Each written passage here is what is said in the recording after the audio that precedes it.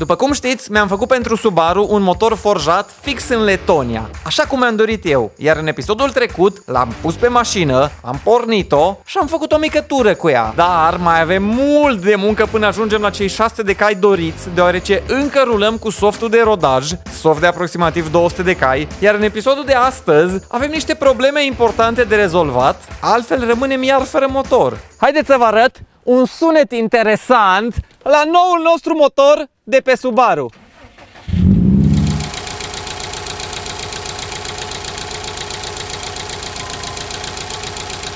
Ceea ce auziți se numește piston slap, iar ăsta e sunetul pe care un motor obosit cu mulți kilometri, îl face înainte să crape cu totul. Fenomenul ăsta vine din cauza că pistonul joacă în interiorul cilindrului, adică în loc să se potrivească perfect pe țeavă, el are loc și să mișcă în interior, cauzând fix sunetele pe care le-ați auzit.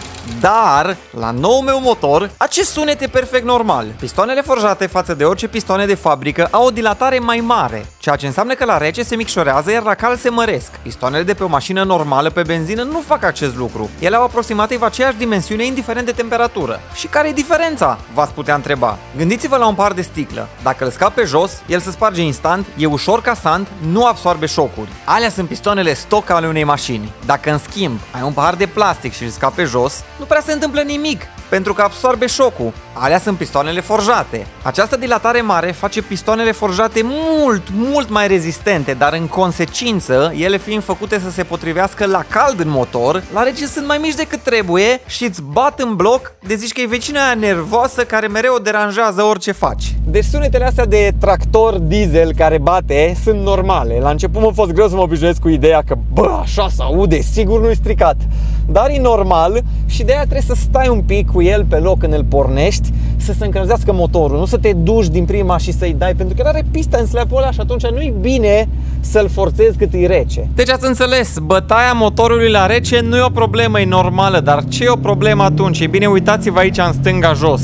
Presiunea uleiului 6,6 bari. Reală e de fapt mai mult decât îmi arată mie pe ceas, e vreo 7 bari. Iar asta mă îngrijorează. Da, eu știu, mașina acum e single la VCS, de asta presiunea e mai mare. Am pus și pompă de ulei mai mare când am făcut motorul în Letonia și am pus probabil un ulei un pic prea gros, așa că o să încerc cea mai simplă soluție, să schimb uleiul. Nu cred că eu fost doar la Subaru de service, că numai ce-o fost pe elevator, dar uh, să cam învață cu elevatorul. Avem și un sponsor în episodul de astăzi, cei de la Autodoc ne-au trimis niște piese care o să ne ajute la schimbul de ulei și la ce vrem să mai facem astăzi. Subaru din 2008, în special modelul STI, nu e cea mai comună mașină, așa că piesele nu sunt mereu cele mai ușor de găsit, însă eu în cazul ăsta pe Autodoc am găsit ce am avut nevoie, filtru de aer, filtru de polen, filtru de ulei și niște garnituri. Până Daniel scoate uleiul vechi afară din mașină, care a făcut numai 250 de kilometri, eu vă arăt puțin aplicația celor de la Autodoc, pentru că intri, bineînțeles, poți să cauți după codul piesei sau după seria de șaseu a mașinii, îți găsești piesa care o vrei, o pui în coș, se vede că eu am aici mai multe piese de Subaru în coș, pe care faci plata și îți vine acasă coletul. N-am cumpărat un singur filtru, poftim Daniel, că am cumpărat două filtre, atât de nesigur pe uleiul pe care urmează să-l bag, dar am un cod de reducere de pe Autodoc, cu codul VEREștiuc puteți obține 5% reducere pentru comanda voastră. Ne-am apucat de revizie și eu eram foarte entuziasmat, îi tot arătam lui Daniel, uite-te ce piesă am luat, uite ce piesă am luat. Și el era calm, își făcea relaxat treaba lui, măsura, se uita, bă, oare bune filtrele, se potrivesc? Asta e o filmare cu filtru și asta o filmare fără filtru. Eu cu glume, Daniel cu muncă, deci o zic că e o combinație destul de bună, așa faci treabă, nu? Uitați-vă cât de plin de ulei era intercoolerul meu, la propriu, ha, pentru că ăsta e uleiul pe care îl folosim, nu, nu e o reclamă, e un ulei importat din state și teoretic îmi place, o să-l testez, 0W40, asta înseamnă că e subțire la rece, bine, mai subțire decât altele, e tot gros, că e tot rece și sper să îmi țină presiunea așa cum îmi doresc eu, pentru că ieftin nu a fost. A doua problemă e faptul că mașina nu dădea căldură. Și inițial am crezut că pierde antigel pe undeva, dar cred că pur și simplu nu au avut destul am mai completat, pe aici e plin de urme de antigel, pentru că am tot deschis, m-am uitat, am studiat, am deschis când au avut 90 de grade. Uh, cred că pur și simplu ma- mașina, când a fost motorul la nou, nu și-o tras destul la prima pornire și după aia m-am dus cu ea și nu dădea căldură, chiar dacă nu se supraîncălzea, nu ajungea la caloriferul din habitaclu, dar nu avem nicio scurgere, deci am scăpat și de grija asta. Presiunea de ulei acum au scăzut un pic după cum se vede 5,6 bari, 6 bari în cazul în care sunt sus în ture Dar nici chiar unde îmi doresc eu să fie Adică o ajutat că am schimbat uleiul, că am băgat unul mai puțin viscos Dar nu e chiar perfect. O mai scăzut presiunea de ulei, dar totuși e un pic prea mare și n-am ce face că nu pot să bag ulei de la 0W30 Deja am 0W40 și soluția pentru problema asta cred că va fi un oil cooler pentru că și ăla, radiatorul de ulei, va mai fura puțin din presiunea asta de ulei, care e un pic prea mare. A treia problemă și cea mai gravă dintre toate sunt nocurile sau detonațiile, cum ar fi probabil traduse în română. Asta înseamnă că benzina în motor se aprinde uneori înaintea scânteii. Ce avem aici este ca și analizele medicale ale mașinii, pentru că am mers cu ea la o tură legată laptopul la mașină și am interpretat niște date. Iar linia asta verde de aici de jos trebuia să fie dreaptă. Pentru că atunci a însemnat că mașina nu făcea nicio corecție de avans pentru nocurile pe care le are. Ei bine, după cum vedeți, îi plin de corecții. Ceea ce în timp deteriorează motorul și în timp rapid. De aia corecțiile astea trebuie să nu se mai întâmple și noi trebuie să rezolvăm problema asta. Ca să o rezolvăm, trebuie să înțelegem ce cauzează nocul, de ce se aprinde benzina când vrea ea și nu când vrem noi. Totul din cauza temperaturii din camera de ardere. De aia mereu în episoadele mele laud benzina de 100, ca aia se auto-aprinde mult mai greu decât cea de 95. Acum această temperatură poate fi influențată de mai multe chestii, precum temperatura exterioară, presiunea pe care o face turbina, amestecul de aer-benzină, rata de compresie a motorului, avans și așa mai departe. Noi în cazul ăsta suntem deja cu turbina cât de jos se poate ea reglată din soft cu amestecul corect, rata de compresie o știm de când am făcut motorul în Letonia și totuși încă avem probleme. Pentru a le rezolva, trebuie să modificăm avansul. Doar că nu-l putem modifica așa de capul nostru. E nevoie de multe date de rulare. Pentru aia, trebuie să ne plimbăm cu mașina și o să trecem prin toate situațiile să vedem ce îi place și ce nu. Și după ce am strâns toate datele necesare după ce ne-am plimbat cu mașina, începem să analizăm și vedem foarte frumos NOC aici, la 3800 de ture, engine load 1 gram pe rotație. Și atunci zicem, a, ok, păi aici nu-i convine, e prea mult avans, deci trebuie să mai scădem avansul. Am deschis alt program, am intrat, asta e mapa mașinii, aici avem o grămadă de tabele de cum funcționează ea cum funcționează turbo, cum funcționează AVCS-ul, cum funcționează avansul, plus o, o grămadă de multe alte chestii sofisticate și complicate, nu o să vă plictisesc cu ele, dar avansul e simplu. Ne uităm. Deci ce ziceam? Avem aici engine load 1.20. Deci ne uităm la tabela de 1.15 și 1.30 și modificăm și vedem că într-adevăr e un avans măricel în comparație cu următoarea tabelă și mai scădem.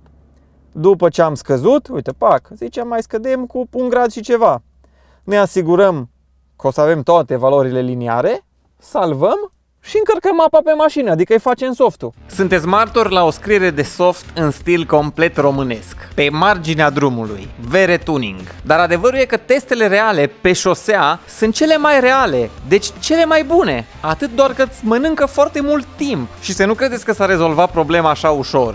Nu. Trebuie să mergem iar la o tură, să vedem cum îi plac noile modificări, să culegem iar date, apoi să le analizăm și să facem iar noile ajustări. Doar așa ne putem da seama dacă mașinii îi plac sau nu noile modificări. Suntem deja la 13-a scriere de soft doar în ultimele două zile și după cum văd eu lucrurile, mai avem mult de lucru. Însă e normal, noi am făcut un motor la comandă, cu rată de compresie complet diferite față de cea de fabrică, cu piese diferite. Softul trebuie să fie adaptat conform noilor modificări. Așa e viața cu Subaru. Cu multe modificări, vin la pachet și multe bătăi de cap. Realizez că sunt multe neclarități, multe curiozități despre tot proiectul cu Subaru. De-aia am cerut pe Instagram să-mi puneți câteva întrebări și am zis hai să răspund la cele mai comune că poate o să facă mai clară toată treaba asta. Vei face modificări suplimentare la partea de grup, spate, cardan, etc. Ei bine, transmisia de Subaru STI, cea în 6 trepte indestructibilă, duce până la 800 de cai fără nicio modificare. De aia, cea mai slabă componentă e motorul. Restul e foarte bine făcut. Nu era mai ușor și mai fiabil cu un 335i Primesc întrebarea asta mai des decât mi-aș dori și răspunsul e clar nu. Și da, din exterior are sens, că zici, oh, un Seria 5 cu 3.0 benzină sau cu ce motor avea ăla, are 300 de cai, deci e ca și Subaru. Ei bine, nu e numai vorba despre câți cai are, e vorba despre cât de mult timp îi are, ce plajă de cuplu are, ce posibilități de tuning ai, ce posibilități ai să duci mașina asta acolo unde, unde îți dorești. Plus că senzația de condus la un STI, la un Subaru, îi cu mult, cu mult peste un 335i. Nu sunt împotriva BMW-urilor. Un M3i, o mașină adevărată. La fel e și cum e un Subaru STI. Dar un 335i rămâne o mașină de serie. Gândind retrospectiv, ți-ai fi luat altă mașină cu toți banii pe care i-ai băgat în Subaru? E bine, nu. Pentru că eu am zis-o. Nu mi-am luat Subaru neapărat pentru că am avut un vis din copilărie cu Subaru. Mi-am luat Subaru pentru că am condus foarte multe mașini, cu oportunitatea de a avea un canal de YouTube, am testat o grămadă de modele și la bani puțini, între ghilimele puțini, Subaru oferă o experiență pe care mașini de 50.000, 60.000 de euro nu o oferă, din păcate. Așa că, da, dacă aș vrea o mașină pur pentru condus și pentru plăcerea de a conduce, la bani puțini, nu cred că aș avea o alegere mai bună. Până acum, cât ai cheltuit pe Subaru? Sincer, mult. Nu m-am așteptat să ajung chiar aici, dar așa e nebunia probabil, că la început crezi că e o simplă plimbare și numai într-o dată te trezești în Letonia cu kiloasele în plase de la Lidl. Și da, asta e doar motorul, dar ce nu v-am arătat până acum sunt frânele care am făcut upgrade, evacuarea, o grămadă de mici modificări care au costat și poate o să fac un episod, în cazul în care prezintă interes, cu toate modificările făcute până în prezent și cât ar costat. De ce nu duci motorul la capacitatea maximă de 600 de cai? Ei bine, pentru că nu e atât de simplu încât doar scoți laptopul, ai băgat acolo 600, enter și gata. În primul rând, motorul teoretic e pregătit, pentru că e un motor forjat, ați văzut, pistoane forjate, close deck, prezoane mai mari și o grămadă de alte modificări, dar restul mașinii nu e, adică intercoolerul e stock, turbina e stock, turbina cu turbina de fabrică nu ai cum să ajungi la un număr atât de mare. Apoi, trasee de aer, injectoare, pompă de benzină și alea sunt tot stoc. Deci e o chestie de durată și chiar dacă le-am pune pe toate așa dintr-o dată, nu e ca și cum i-am face primul soft și gata. Poate ar crăpa motorul. Cred că e o călătorie din aproape în aproape să ajungi la un număr cât mai mare de cai și nu e atât de simplu, chiar dacă s-au investit o grămadă de bani, mai sunt, dacă vrem, performanțe mari. Care e cea mai mare realizare pe care vrei să o atingi cu Subaru? Asta e simplă. Aș vrea ca cel puțin anul ăsta și anul vitor să nu schimb numărul de înmatriculare. După cum știți, am avut 04 sub atunci când am reconstruit motorul pentru că era al patrulea motor și mi-am făcut datoria, am reînmatriculat Subaru și am scris 05 sub pentru că suntem la al cincilea motor și să nu uităm că sub nu vine de la Subaru, ci vine de la subscribe. Mai poți? Tu ca om, răbdare, nervi, bani, mai poți? Să știți că pe YouTube nu se văd uh, toate momentele în care ești trist, supărat, agitat, nervos pe mașină, pentru că le filmăm doar pe alea frumoase, dar uh, da, uneori e greu, uneori e ușor, acum când nu mai poți să o bagi în garajul așa acolo, știi, o scoți numai când poți. Ăla e secretul. Iubita ta nu zice nimic că mașina e mai răsfățată de tine decât ea. Nu știu dacă e bine formulată, dar am înțeles ideea. Uh, da, mașina e foarte dificilă și necesită foarte mult timp și implicare, dar uh, să nu credeți că e mai ușor cu o iubită. Care o să fie următoarea mașină? Asta nu pot să zic încă, dar pot să zic că am vândut duster și deja ne pregătim pentru următoarea mașină, însă subărică nu pleacă nicăieri. Ce faci dacă bubuie și motorul ăsta? E destul de simplu. Am motorul de rezervă, motorul care l-am dat jos îl reparăm și o să avem motor de rezervă. Deci dacă bubuie ăsta, pac, pui repede rezerva. Dacă o să dai fail cu acest proiect, ce o să faci mai departe? OnlyFans. Ăsta a fost episodul nostru cu subărică. Sperăm că nu se strică și bineînțeles, ne vedem la următorul. Salut!